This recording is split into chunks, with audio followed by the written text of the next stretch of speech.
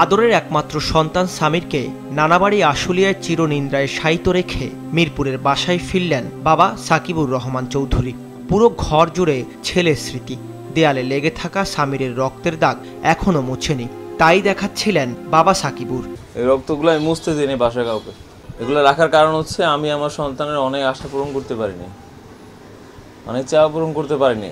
এইটা আমার শাস্তি। I am not a terrorist I am just citizen normal citizen যে কখন এই ধরনের দৃশ্য দেখে নেই এবং এই ধরনের দৃশ্য দেখার পর এখন পর্যন্ত ট্রমার থেকে বেরোতে পারে না। প্রতি রাতে সেগুলো ভাসে। I am not a terrorist আমার বিচার একটাই, আমার মালিক আল্লাহ তালা আমার ছেলের মালিক আল্লাহ তালা আমি আল্লাহর কাছে বিচার দিছিলাম তখনও, যখন তারা ক্ষমতায় ছিল।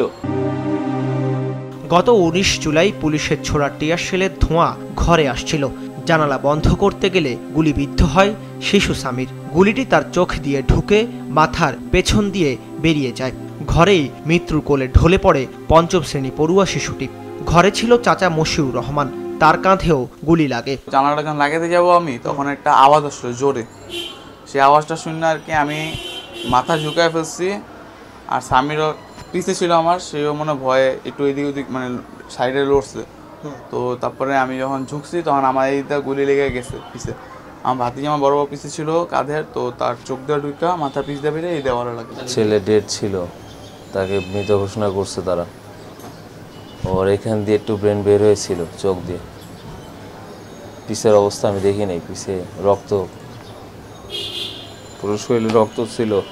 ছেলেকে এগারো বছর পর্যন্ত বড় করছে।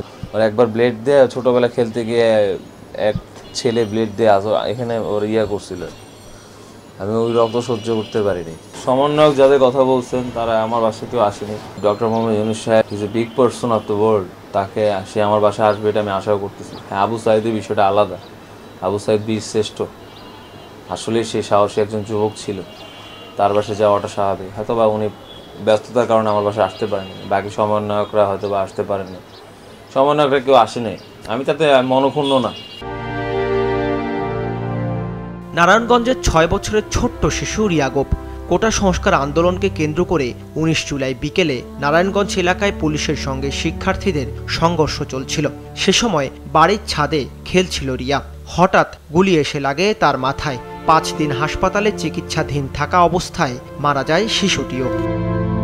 বিশ জুলাই দুপুরে রাজধানীর চিটাগাং রোড এলাকায় গোলাগুলি ও সংঘর্ষ চলছিল। খোঁজ পাওয়া যাচ্ছিল না। দশ বছরের হোসেনের দিনভর খুঁজেও ছেলেকে না পেয়ে রাতে ঢাকা মেডিকেলে যান মা বাবা সেখানে মর্গে মেলে হোসেনের মরদেহ। উনিশ জুলাই রাজধানীর উত্তরায় নিজ বাসার বারান্দায় দাঁড়িয়ে বাইরে কি হচ্ছে দেখছিলেন ষোলো বছরের নাইমা। কিছু বুঝে ওঠার আগেই গুলি এসে লাগে তার মাথায়। সাথে সাথেই মৃত্যু করে ঢলে পড়েন দশম শ্রেণির এই শিক্ষার্থী। প্রকৃত হিসাব এখনও পাওয়া না গেলেও এমন অনেক শিশু, কিশোর আর তরুণ ছাত্র জনতার আন্দোলনে গুলিবিদ্ধ হয়ে প্রাণ হারিয়েছেন। তাদের স্বজনদের একটাই চাওয়া, হত্যাকারীরা যেন সর্বোচ্চ শাস্তি পায়। দাউদ হাসান মাছরাঙ্গা সংবাদ, ঢাকা।